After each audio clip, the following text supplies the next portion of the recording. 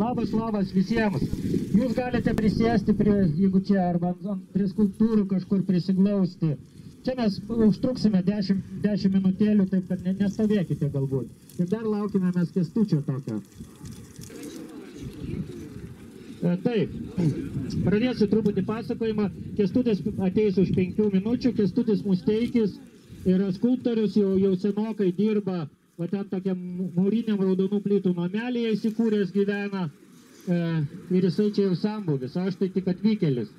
E, bet aš e, pasidėjau archyvose ir žinau apie tuos dailininkų visus, visą istoriją Vilniaus. E, galbūt netgi geriau už jį. E, kai dabar susitinki e, kokį jau senyvą dailininką, e, skulptorių arba šiaip menininką, jis dažniausiai pradeda aimanuoti, kaip vat, sovietmečiu prastai gyveno jie. Tai nebuvo dirbtuvių, tai nebuvo ten užsakymų, tai nebuvo dar kažko, praktiškai verkė ir verkė, jeigu jį įrašinėjai, nu, į diktofoną oficialiai. O kai, mat, jau, jau su juo pradedi kalbėti, taip sakant, dušė į dušę, tada atsiveria, kad jie ir ten netaip jau prastai gyveno. Ir iš tikrųjų, iš tikrųjų pažiūri apie tuos e, e, dailininkus, kiek jiems buvo pristatyta dirbtuvių, e, kai buvo skirstomi būtai, ne tik tai dailininkams, bet ir kompozitoriams, rašytojams, tai visai neprastai. Jie, jie buvo kur kas elitiškesni už eilinius šaltkalvius ir eilinius tenai bacivius kažkokius ar, ar darbininkus fabrikų ir visą laiką turėjo galybę privilegijų. Esame dabar e, praktiškai prieš paskutinėme tokiame didelėme statinyje, kuris buvo skirtas e, skulptūrai ir vitražui. Tai jisai atsirado 84-5 metais, oficialus atidarimas penktų gale. E, Ir čia vadinosi oficialiai taip. Monumentaliosios dailės ir skulptūros eksperimentinis kombinatas. Jeigu matėte, dabar užrašas yra skulptūros ir vitražo centras. Nu, e, nelabai toli nuvažiavo nuo to, bet žodžiu buvo čia eksperimentinis kombinatas. E, Ir tai buvo jau ne pirmasis kombinatas e, Vilniuje. Apskritai dailės kombinatai susikūrė iškart po antrojo pasaulinio karo. Buvo trys Vilniaus, Kauno ir Klaipėdos. Ir juose dirbo ganėtinai nemažai tų visokių meniškos sielos žmonių. Užsiėmė visokiais rankdarbiais, ženkliukai, suvenyrai ir taip toliau. Visą, visų ilgus metus. Na ir e, tose dailės, dailės kombinatai, per juos ėjo užsakymai įvairiems e, pavieniams skulptoriams, e, apskritai menininkams. Per juos gaudavo užsakymus. Tai va, pirmosios dirbtuvės Vilniaus mieste, tokios specialiai sukurtas, atsirado 60 metais Grybo gatvėje, Antakalnyje. Jeigu žinote, Grybo ga- gatvė ir, ir klinikų kampas. Ten yra dailininkų namas, kuriame jie gavo būtus, o truputį arčiau e, centro nuo, nuo to kampo yra e, tokia dirbtuvė speciali su e, stikliniais stogais. Iš vienos pusės yra keturi tokie stiklai ant stogo ir iš kitos pusės keturi. Tai buvo aštuonios specialios dirbtuvėse, kuriuose, kuriuose galima buvo daryti skulptūras, nes apšvietimas svarbus dalykas ėjo iš viršaus, pasiskirstydavo ta, ta šviesa vienodai, matiškai ir tada ta skulptūra padėta dirbtuvės viduje buvo ti- tinkamai apšviečiama. Kitos dirbtuvės, jeigu matėte ir žinote, atsirado užupyje, Kryžių gatvės e, posūkyje. E, Dabar galima skaičiuoti e, nuo centro važiuojant Kryžių gatvė, pravažiuojam užupio gimnaziją, važiuojam dar tolyn ir kairiai pusiai įvažiavę į Kalniuką ir prieš nusileidimą yra dešinė pusė tokie namai raudonų plytų ir tarp jų yra geltonų plytų namas. Tai va ten yra superinės dirbtuvės, ten jau buvo 32 aprūpinti būtais dailininkai ir, ir gerom didžiuliam dviaukštėm dirbtuvėm. Kombinatas pats atsirado Kauno gatvėje, Kauno gatvėje e, ant kampo, e, kokia ten gatvė eina? Ohoho. Ant posūkio, žodžiu, kai Kauno gatvė daro posūkį. Smolensko, va, Smolensko. Smolensko Kauno kampas. E, kombinatas tas buvo panašus į gamyklą iš tikrųjų ir dabar jisai panašus išliko, tik aišku ap, ap, apvalgytas visai. E, ir ten įsikūrė gamybinės dirbtuvės, tie patys e, e, cechai, kuris skulptūros, vitražo ir taip toliau. Tai buvo pirmosios tokios masinės, masinės gamybos e, dirbtuvės Vilniaus mieste. Ne personalinės, o jau ten ateidavo visi. E, Prieš tai nepaminėjau, kai dar nebuvo nei Grybo gatvės, e, nei Užupyje Krybių gatvėje, nei Kauno gatvėje. E, Mikėnas, e, tarkime, darė e, skulptūrą Petra, Petrui Cvirkai. Atspėkit kur? Bažnyčiai, aišku, ne? Kokioj bažnyčiai? Užupį, ne. Jisai darė Bernardinų bažnyčiai.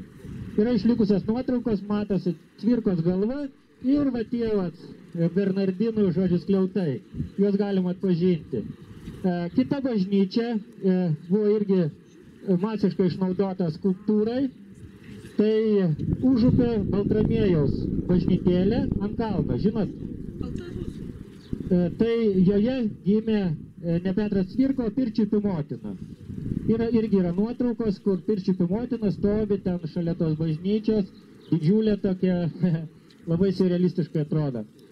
E, Visuose e, tuose e, kombinatuose, e, personalinėse dirbtuvėse, kolektyvinėse dirbtuvėse gimė daug e, kūrinių, skulptūrų ypatingai, kurias, kurias mes matom kiekvieną dieną.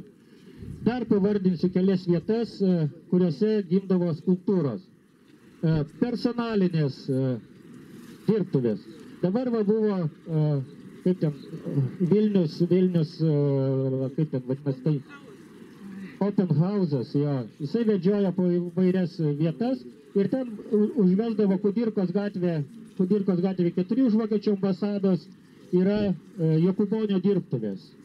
Tai va ten Jokubonis, Gediminas gavo šitas dirbtuvės vien tam, kad jisai parašė tokį prašymą, aš dalyvauju Lenino paminklo e, sukūrimo projekte, tas paminklas turi stovėti Kremliuje, prašau man skirti personalinės dirbtuvės. Valdžia sako, mielai prašom, leninistam negaila. Ir padarė jam e, suomiško tipo tokią labai jau prašmatnės dirbtuvės, kurios ir dabar dar atrodo tiems dabartiniams architektams visai neprastos. E, Savickas, Augustinas Savickas buvo irgi e, dailininkas, žymus jam e, Čiurlionio gatvės rajone, irgi 70 metais pats ir skyrė didžiulis, e, didžiulį namą, e, kuriame jis galėjo pastatyti. Nu, perstatė jisai ir pasistatė na, iš- įspūdingo dydžio dirbtuvės, sovietmečiai tai buvo visai nuostabu. Nes dailininkai ir apskritai menininkai, e, tie, kurie su vizualiaisiais menais buvo susiję, jie turėjo privilegiją e, gyvenamo plotą, plus, plus kažkiek kvadratinių metrų, nuo 20 iki 60, kiti ir daugiau, dirbtuvėms tiesiog. Jiems buvo tai įprasta. E, Dar vienas e, e, e, skulptūros ir gimdavo Jeruzalės gatvės gale pačiam. Ten Vladas Vildžiūnas, e, e, e, kiti skulptoriai įsikūrė tiesiog tokį skulptūrų e, miestelį, skulptorių miestelį su savo dirbtuvėm. Ir dabar ten yra Jeruzalės skulptūrų parkas kaip reliktas. E, Ten irgi gimė nemenkai įvairių skulptūrėlių ir skulptūrų. E, Dabar šitos, šitos, e, šita visa teritorija, jinai įsispraudė tarp dviejų tokių pramoninių objektų. Va čia eisim pro šalį yra standartų spaustuvė. Iki pat šiol taip vadinasi, kaip ir 70 metais. Standartai priklausė, na, tokiam statistika ten ir matai visokie, na, kažkokia tai institucija buvo e, standartų spaustuvė, o už nugaros buvo standartų kontora, dabar metrologijos centras. Irgi tas pats panašai susijęs su matais, saikais, jų mat- matavimu. Tai va, e, nepastatė taip, kaip turėjo pastatyti pagal projektą šito visą kompleksą. E, kas at- matote pirmajame puslapyje, čia kur mes sėdime, vat palei tą tvorą turėjo eiti dar vienas pastatas didžiulis, panašus vat į šitą dydžių, čia turėjo būti vitražas, vitražo centras, o ten man už nugaros skulptūros centras. E, Dėl nežinomų priežasčių to vitražo centro neatsirado ir, vitražas ir skulptūra buvo sugrūsta į, vieną namą, į vieną pastatą. E, pirmoji skulptūra, kuri išvydo Čianai gatvė, tai yra gatvė šviesą arba e, apskritai saulės šviesą, buvo Romo Dauginčio skulptūra Lakštingala. Jis stovi Vilniuje. Kur? Konarskio gatvė, jo. E, Tai yra tam trikampėlėje tarp Konarskio ir Savanorių prospekto stovi prieš dangoraižį toks stilizuotas medis ir jame įsilipęs toks stilizuotas berniukas. Nu tai va, tai būtent čia pirmoji 85 metais, vos tik atsidarius, buvo atvežtas gipsinis modelis ir čia jau, jau sutvarkyta jinai. Ką ir matome va, tam pirmajame puslapyje. Kestutis ar atsirado? Kestutį, Kastų reikia. Jastai. Jisai tiesiog pasakė, būsiu už penkių minučių, kažką ten tvarko tuose namuose. Dabar žiūrėkit, e, vat, šalia, šalia jūsų, vat, kai kurie stovi netgi, yra meno kūrinys, kuris e, e, neatsistojo, buvo pagamintas čia, čia yra gipsinis modelis, tačiau nebuvo pastatytas Vilniuje, tai yra žmogus ir delfinai, Gedimino žuklio kūrinys, jisai turėjo stovėti lasdynuose prie baseino. Žinote, kur yra baseinas vandens? E, turėjo būti e, didelis toksai fontanas, e, viduje, viduje fontano pakyla ir ant pakylos va šitas. Ilgai mėravo jį, nes e, tokios sunkios konstrukcijos buvo, stabilumo, kad įgautų, ten bandė daryti ant dviejų tokių stripų, ne ant vieno. E, Jas ir liktai buvo viskas suderinę, tačiau prasidėjo tie 89-90-ieji ir ta skulptūra buvo išlieta, tačiau taip ir nepastatyta. Tam, nu, Sankt Peterburgai e, išlieta, bet paskui pasimetė kažkur. Kažkas jau nebemokėjo už išleidimą ir jinai Lietuvą netvyko. Ir dabar aš kalbėjau su to žukliu, nu tai jisai sako, buvo, buvo šita, va, šita, šita namo viduje ta skulptūra il- ilgus metus gyveno ir dabar prieš mėnesį išnešė ją į saulutę. tai dabar jinai atrodo labai makabriškai ir kaip, kaip va toks, kas čia, nerklys, briedis ar e, asilas, kas čia toks? Kas toks? Lama sako, va. Lama kažkokia yra, e, ten yra kažkokie skaičiai arba reklamos ženklas, vad nežinau, ar 14 Q ar 140, neaišku, kažkokia babulka. E, tai va, e, aš buvau suskaičiavęs, kad e, nuo, nuo čia atidarimo, nuo 85 metų, kiek buvo sukurta, penkios skulptūros, kurios neatsistojo į savo vietas. E, Mes rasime e, kairėje, kam, kairėje, kairėje pusėje nuo to ožinio prano rasime tokį numestą e, biustą Antanui Venslavai, rašytojui, mėtosi jisai ten. E, čia dėja nėra ir kažkur dingo nežinomais keliais e, Vinco Mikolaičiui Putinui paminklas. Jisai turėjo stovėti Tauro kalno, kalno šlaite, e, priešais Tauro gatvė 8, man rodos, ten, kur yra e, prievės, tai memorialiniai muziejai, visa virtinė jų. Tai va ten stovėjo, priešais tuos namus, taip, šlaite. E, Venclava turėjo stovėti prie rašytojų sąjungos už centrinio pašto e, Sirvido gatvėje. E, Taip pat neatsistojo į savo vietą paminklas e, Vilnelė ir Neris, ją sukūrė Gaigalaitė, Nijolė ta pati, kur sukūrė Juratį ir Kastytį palangoj. E, Tai buvo erotiška skulptūra, viena e, vyresnė moteris su labai jauna mergina, jos yra pusnogės, na ir viena simbolizuoja nerį, kita Vilnelę, jos ten kažkaip apsikabinusios, motiniškai ar, ar lesbiškai neaišku. Ir e, šita skulptūra buvo netgi pamiruota Antakalnio pradžioje, kur Vilnelė įteka į nerį, tam trikampyje, kur dabar turi stovėti e, Vileišiam trim broliam paminklas. E, Jau antrą dieną e, Vil- Vilniaus eratomanai ištepė krūtis ir kai kurias kitas vietas visokiais dažais ir degutu. E, tą primatuotą skulptūrą gipsinę e, ir tada pasijėmė jau miestas. vėl tą skulptūrą iš, turėjo vežti į Sankt Peterburgą, iš bronzos lieti, tačiau atėjo 90-ieji ir jinai irgi nebuvo išlieta. E, Na, galėčiau dar pasakoti ir pasakoti, kiek dar nebuvo skulptūrų pastatyti. Kestutį. E, Ateikite čia truputį arčiau ir mūsų kestutis atsirado, paplokim jam. Tai yra darbininkas, jis susipainiojo, pasirodo 14 val. ir 4 val. Nu, ką padarysi, tai būna. Tai va, jisai čia toj, toj dulkių, ne, karalystėje, granito dulkių, kas čia, cemento dar visokie dulkės, betono, akmens visokie nuoskilos, jisai čia ir gyvena. Na ir tada jisai papasakos apie dabartinę padėtį, tai yra padėtį, kas atsitiko šitame, šitoje teritorijoje jau po 90-ųjų metų ir kaip čia viskas vyko ir kaip šiandien jie gyvena. Gerai? Tegul paklausom tada. Atsiprašau, kad tenais taip priverčiu laukti. E, šitie pastatai buvo pastatyti e, 85-7 metai, tai pradėjo veikti. Buvo skirti monumentams, e, di- didiesiems monumentams, ten Leninams, ten dar kitokiems. Bet e, šitoje vietoje nebuvo, nepa, nu, nebuvo padaryta didelių. E, kada prasidėjo kaip pasakyti, perestroika vadinama, e, sąjūdis, e, pradėjo merdėti šitie kombinatai. Mes turėjom, Dailininkų sąjunga turėjo penkis didelius kombinatus, liko dabar tik vienas šitas e, išsaugotas. E, Šitam kombinate buvo pastatytas Panevežio e, Aleksandras, e, Krekždės, kur čia yra prie Sakurų, o toliau tai smulkus darbeliai tokie, ne, ne tokie jau dideli. Tai, tai va, šita teritorija dar, dar tikėsimės kažkiek ir dar priklausys.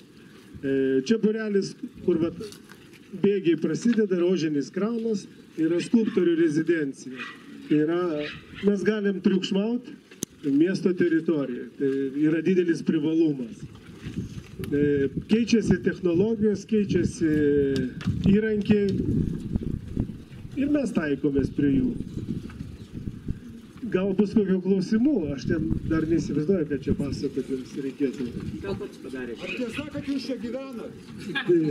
Ne, dienas praleidžiam, miegam kitur. E, Bet kai kas ir čia irgi miega. Mums teko išnuomoti, išnuomoti patalpas, e, kadangi patys dailininkai nėra turtingi ir va, iš nuomos kažkaip išsilaiko. Galite įsivaizduoti, atrodo miesto, miestas, bet žiemą būna, kad širmonėlis apsigyvena, tai lapės praeina. Iškia, yra gyvybė. Ponas, a kas ten per mozaiką kažkokio kariškio? Čia yra, yra likęs e, Černiachovskio mozaika, dar e, voliojasi čia ant aukšto, tam dideliam pastate. Dar vienas Lenino biustukas likęs kaip prisiminimas. Nu va, ir to. A, ne, ši- Černiachovskio turi, turėjo būti, bet šitas nebuvo. Jis man, man aiškina, kad turėjo būti Černiachovskis oro uoste, bet buvo supakuotas. Arba buvo e, antras darbas, ar koks, bet e, jis buvo supakuotas, mes išpakavom. Taip kad nemanau, kad iš Černiachovskio... Taip, ga- galėjo būti, čia dar toks pat. E, bet jisai žiūri ne į tą pusę. Čia yra persipta nuotrauka. Ne, e, gerai, galbūt buvo du padaryti. Gali būti, nes mes tai reiškia išnaudojom, nu, išpakavom iš viršaus. Taip, kas, dar- ką dar čia yra, vai tą pusę ką pamatysim? Dar vienas yra ten e, likęs nuo Antakalnio kapų e, tarybinis didvyris. Kažkoks, po to ten dar yra kampe e, Venslovai, bet Venslovos nebeprireikė, tai ten dar stovi toks irgi nepabaigtas. Dar matosi, kad e, nedaug trūksta užbaigti, bet tokių. Ką pats dabar esi padaręs? Nu, dabar čia yra, ne, čia yra paruoša. E, neseniai mes čia tokį padarėm e, skirtą Pilsudskiam broliam ir pastatėm Zalavę ten, kur jie buvo gimę. Ž- Žulovė, žulovė. Nu, Žulovas, Zalavas ten įvairiai išneka. e, dviem rolėm. Vienas buvo etnografas garsus, išleidęs e, prancūzų kalba Lietuvos kryžius. Nu, buvo pasikesin, už pasikesinimą prieš carą buvo išsiustas į, į Sachaliną. Įvedė Japoniją, apsigyveno Japonijoje. Taip, pagyveno ir gavo dar po to, tremtie gavo ordiną nuo Rusų geografijos draugijos už stu- studijavimą Sibiro tautų. Ok, dabar žiūrėk, Kęstuti, va čia yra dar visa, visa virtinė skulptūrėlių, jos paminkloje. Čia yra, kaip pasakyti, savotiškas, kad e, ne lai- ne laisvalaikis, bet kad rankos kišenėse nebūtų, tai čia skulptoriai yra pasidarę ten tokių visokių e, skulptūrėlių, kaip ir, kaip ir par, paruoštos ir kur gal kam nors prireiks. O kiek antkapių pagaminat per metus ar per mėnesį? Mes ne, ne, ne kaip pasakyti, nelabai specializuojamės antkapius, bet darom, darom ekskluzyvinius antkapius. Įvairiai reiškia. Pavyzdžiui, Nu, pavyzdžiui, čia buvo darytas Petkevičiui antkapis, e, Marcinkievičiui kitur dariau, Aleksai buvo dirigentų. Čia aš kur dariau. tokius. Nu, ten daug tingių vardinti. O sakykite, Deodatui Tauragiui neįtarė? Ne. E, Toks panašus tarsi pušų terasose, e, toks soliukas, tai principas. Dabar tu leidžia technologijos e, va taip išpjauti, ne, neprapjovus niekur. O dabar žiūrėkit, o iš, iš akmens čia visą šitą dabar? Nu, galit pačiupinėti, nesūris. gal betonas? Ne, čia jeigu nupoliruosit, e, akmuo turi tokią savybę, kuo jisai grubesnis, tuo šviesesnis. Kuo daugiau šveičia, jisai tamsėja. Ir jisai nupoliruotas bus juodas. Praleisit vieną tarpą ir nebus juodas. Reiškia, viskas palaipsniui turi būti. E, Gal padarom taip, aš testučio prašau, prašiau, kad mus palidėtų iki to vat, didelio pastato, galima bus įeiti į vidų kai kurias ne vietas. Jo, tai kestutis mus tada palidės tenai, bet eikime grupelėm. Vieni pasukim čia į kairę, apžiūrėkim, kiti į dešinę. E, Į, į tamstos dirbtuvės ne, ne, nevertėtų užkišti nosies, ne? Ten šiukšlynas, jeigu norit, galite Ten šiukšlynas, sako, bet jeigu norit, galite įkišti nosį. Taip, va, va tiesiai man už nugaros yra paties kestučio, nu, ta buveinė, jo, galite ir ten užeiti.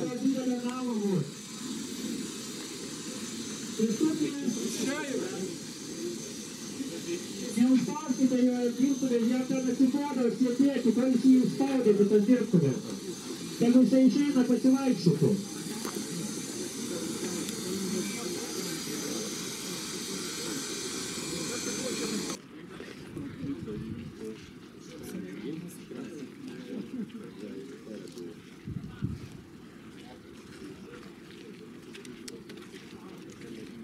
Reikia pasilipti, kitaip nesimato. Užsilipkit ant, čia ant tų akmenukų ir pamatysit jo profilį. Labai būdingas Venslovai, tai yra platus makras apatinis, toks rūstus veidas, ganėtinai. Va ir iš čia, vat, jeigu eina žemų ūgio žmogus, tai ten ne, nemato, nes tiesiog akmenų krūva guli ir tiek. O jau pats, pats veidas tik pasilipus matos. Esate turbūt jį matę visuose ten sovietinėse vadovėliuose buvo literatūros ir taip toliau. Nežinau, dabar turbūt jau išmestas iš programų, o gal ir ne. Greičiausiai išmestas. Sakė, jeigu kas norėtų pasiimti jį, mielai atiduodu už dyką. E, Venslavų namai, kurie yra Pamienkalnio gatvė, kur Lūni kartais renkasi. Žinot, yra toks muziejus, na muziejus memorialinis, personalinis. Antano Venslovas ir Tomo Venslovas. Tai jisai atvažiavo ir sužinojo svorį, sakė, virš tonos. Ir tada pradėjo rimtai galvoti ir dabar dar galvoja. Ar pasigabenti jį pas save į Pamienkalnio gatvę, nes ten ir, jie turi tokį vidinį kiemelį, lyg tai ten ir tiktų, bet tas kiemelis labai mažas. Ir tokia jau, jau čia per didelė. Mažas biustukas e, tiktų ten. O čia jau yra iki pusės jisai jo. Tai va. E, Pats sąjūdžio, pati sąjūdžio pradžia buvo. Jisai turėjo atsistoti 88 metų pabaigoje. Ir pastabdė kažkas. E, Dėl greičiausiai jo politinių priežasčių, tuo tarpu e, šitam Mikolaičiui Putinui paminklas, turėjo, kuris turėjo atsirasti ant, ant, ant Tauro kalno, jisai buvo sustabdytas dėl vienos merginos, senos merginos, Irena Koskevičiūtė, jeigu esate prisimenat, literatūrologė tokia, kuri buvo monopolizavusi Vinco Mikolaičio Putino kūrybos tyrinėjimus. Jis vienintelė galėjo e, na, kažką tiesą sakyti apie tą Putiną, o visi kiti buvo niekis.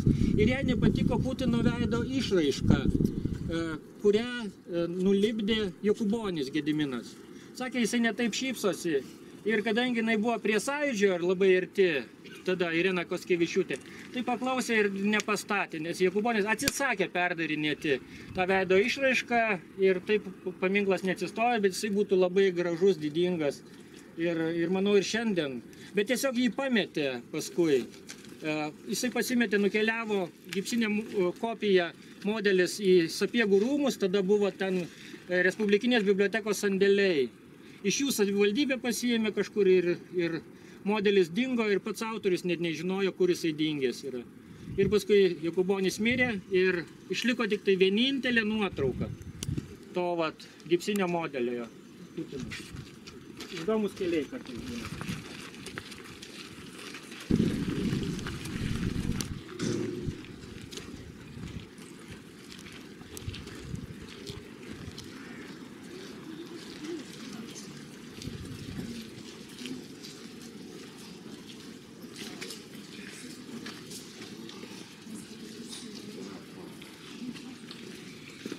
Va sandėliukų buvo dideli monumentai.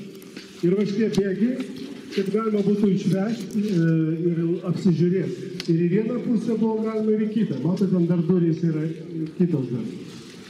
Tai va čia e, tos e, krekždės prie saporų, tai va čia ir buvo dar da- daromas irgi vežiojamas bėgiai. Bet jau jos paskutinės buvo, kurios važinėjo čia. Gal pirmos ir paskutinės. Ne visi žino, gal kas yra kregždės prie sakurų. Pirmosios kregždės, Mikėno darbas, tačiau nu, paskutinis jo darbas, tačiau taip ir nepastatytas ir paskui buvo tik ma mažiukas modelis jo padarytas ir paskui išdidinta iki beprotybės jau 87 metais ir pastatyta prie tuometinio revoliucijos muziejaus, dabar tai yra, e, kaip jis vadinasi? Ne parodų rūmai. Nacionalinė galerija. Nacionalinis muziejus. Galerija nacionalinė. Tai va. O tai kas čia dar išvažiavo? Dar pataisysiu, buvo padaryta e, gal apie dviejų metrų su trupučiu ir Maskvoje stovi toks kregždės. Taip. Nu, čia dar buvo e,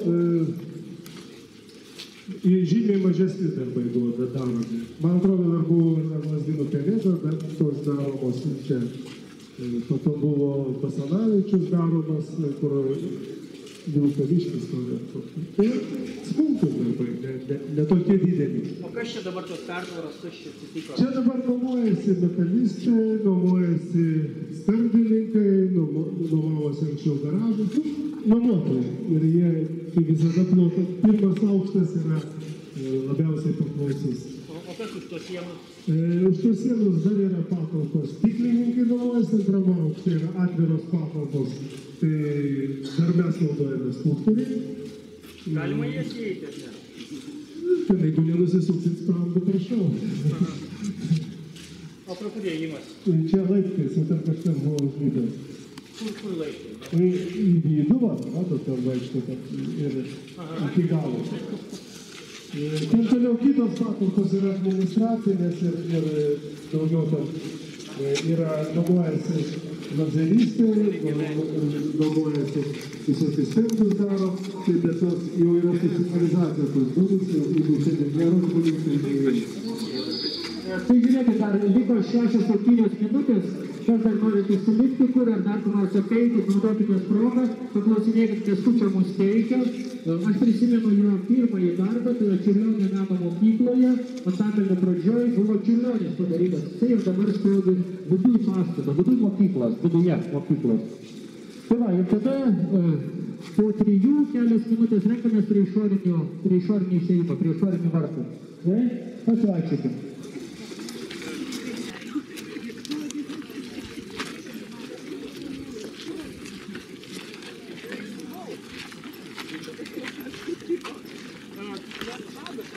Vėlgi sienas. Kolegos, prašome rinktis. Už kelių minučių einame toliau. Prašome jau rinktis visi čia nai.